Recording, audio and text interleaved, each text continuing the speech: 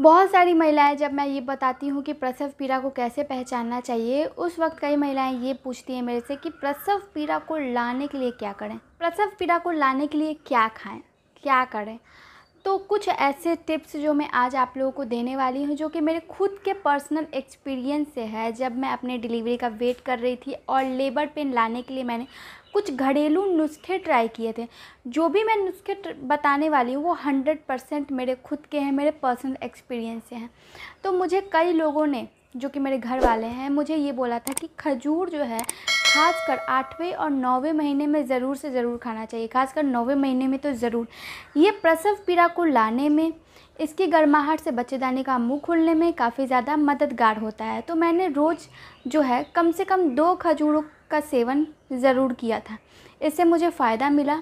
ये फ़ायदा मिला कि मुझे अपनी ड्यू डेट पार नहीं करनी पड़ी, यानी कि मेरी ड्यू डेट थी, वो चौबीस तारीख थी। अब चौबीस तारीख के बाद मेरी डिलीवरी नहीं गई, उससे एक वीक पहले ही नॉर्मल डिलीवरी हो गई और बहुत कम समय में मेरी नॉर्मल डिलीवरी हुई, बहुत कम दर्द में ही। मुझे ज़्यादा देर तक लेबर पेन में नहीं रहना पड़ा था। तो खजूर जो है काफ़ी ज़्यादा फ़ायदेमंद होता है। आप अगर नौवा महीना शुरू हो गया है, पाँच दिन हो गया, दस दिन हो गया, आप खजूर का सेवन कर सकती हैं। नौवा महीने की शुरुआती से ही खजूर का सेवन कर सकती हैं।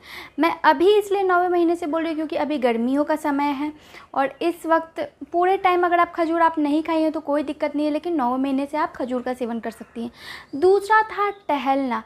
तो ये मेरी मम्मी के द्वारा गाइड किया गया था कि टहलना काफ़ी ज़्यादा ज़रूरी है। इससे बच्चे की ड्रॉपिंग जो है ईज़िली होती है, बहुत जल्दी होती है। तो जो मसल्स हैं, वो फ्लेक्सिबल होते हैं। तो मैं रोज़ सुबह और शाम 10 से 15 मिनट तक तो ज़रूर वॉक किया करती थी। वॉक ऐसा भी नहीं होना चाहिए कि लंबे लंबे कदम होने चाहिए। बिल्कुल भी नहीं। छोटे छोटे कदमों से आप टहल सकती हैं सुबह और शाम। वॉकिंग से आपका जो कमर का जो एरिया है, वो फ्लेक्सिबल होता है स्ट्रेच होने लगता है। इससे बेबी की ड्रॉपिंग बहुत जल्दी होने लगती है और नौवें महीने में आपको खास कर टहलना चाहिए। तीसरा जो एक्सरसाइज था, मैं किया करती थी, वो था बटरफ्लाई एक्सरसाइजेस इससे मेरे जो कमर के पास के मसल्स हैं, वो स्ट्रेच होने लगे थे, वो रिलैक्स होने लगे थे। इससे भी बेबी ड्रॉपिंग होती है और साथ ही नॉर्मल डिलीवरी के लिए काफ़ी फ़ायदेमंद होता है।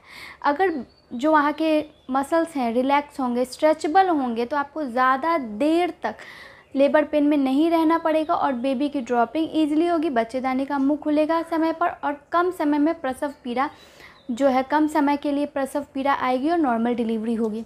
नेक्स्ट जो था वो घी दूध था। तो मैं घी दूध का सेवन किया करती थी।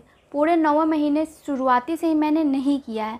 मैंने सिर्फ़ एक वीक ही घी दूध पिया है। वो भी वो भी बहुत कम मात्रा में। एक कप दूध में लगभग आधा चम्मच घी का सेवन मैं किया करती थी।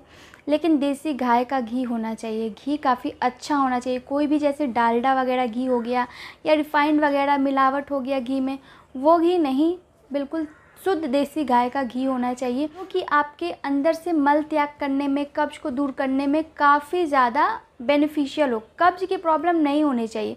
इसलिए घी दूध कब्ज की प्रॉब्लम को दूर करता है, जिससे कि बेबी की ड्रॉपिंग ईजिली होती है, जल्दी होती है। ये सब जो भी मैंने आप लोगों को बताया है, ये मेरा खुद का पर्सनल एक्सपीरियंस है। भी मैंने नॉर्मल डिलीवरी के लिए किया है, प्रसव पीड़ा को लाने के लिए किया है, ये जो भी है, ये पर्सनल एक्सपीरियंस है। आप चाहो तो फॉलो कर सकते हो, ये काफ़ी ज़्यादा फ़ायदेमंद होगा आप लोगों के लिए। कोई क्वेश्चन हो तो कमेंट बॉक्स में मुझे लिखें। जाते जाते इस वीडियो को लाइक चैनल को सब्सक्राइब और कमेंट करते जाएँ। धन्यवाद।